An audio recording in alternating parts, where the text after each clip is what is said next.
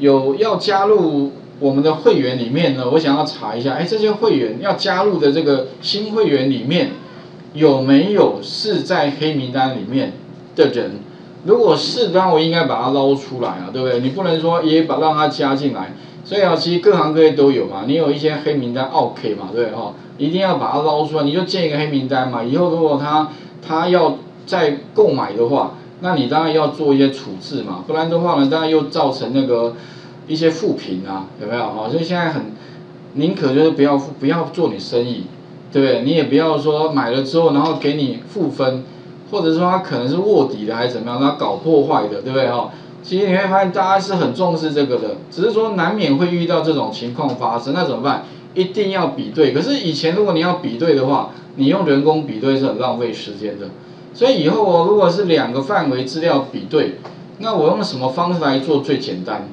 哎，特别注意哦，这边的话我建议哦，如果你要两个范围的比对哦，最简单的方法哦，其实你可以用之前教过的一个函数，一样是用 conif，所以你会发现哦。在统计里面的那个 conif 是相当好用的一个函数。那 conif 里面你会发现它需要两个东西，一个叫什么 range，哎，range 的话，实际上查询名单有没有？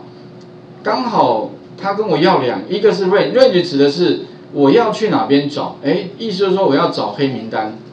criteria 是找什么？找这个 email，所以这个是什么？一个范围，一个条件，哦，所以特别注意哦。那 range 的话，我是建议哈，如果按确定之后啊，它一定会啊一样是黑名单，那你可能要点黑名单之后再点第第二个，然后往下选取啦。不过以前是这样拉，我建议是 Ctrl Shift 向下。不过哈，一样的道理，哎，这个 Ctrl Shift 向下其实还是很麻，建议啊跨工作表的大范围，建议怎么建一个名称会比较 OK。所以这里哈。取消一下，我是建议你干脆什么，在黑名单这边哈，先把黑名单这两、这三个字复制一下，然后呢，建一个名称啊，建名称还记得吧哈，就是先游标放在这边，然后 Ctrl Shift 向下，给它一个名称叫黑名单，输入黑名单三个，Enter 一下，好，以后这个叫黑，啊，我们就可以直接什么查询的话，可以用什么呢？哎，最近使用过的嘛，conif，然后 range 的话呢，用 F 三。黑名单就出来了，哎，这样就比较方便，而且你会发现它的那个不会像刚刚一样，还有什么工作表名称，然后哪一个出生哪一个范围，那相当的冗长。那 criteria 就是它。那如果说有找到的话，有没有表示是一或一以上哦？OK，黑名单里面啊，如果说一以上表示黑名单，那如果向下填满的话，只要这个清单里面怎么样，它是。啊，对是一的话，是一的话表示黑名单。那如果是零的话，表示不是黑名单。那我希望把结果贴到这边来的话，那我应该怎么做？再配合什么？资料里面有个筛选，把什么呢？把一的部分留下来，有没有？啊，再把什么呢？把这个范围的资料哈做选取，Ctrl Shift 向下，Ctrl C。然后，然后直接贴到查询结果这边，把它贴上，这样子就全部查完了。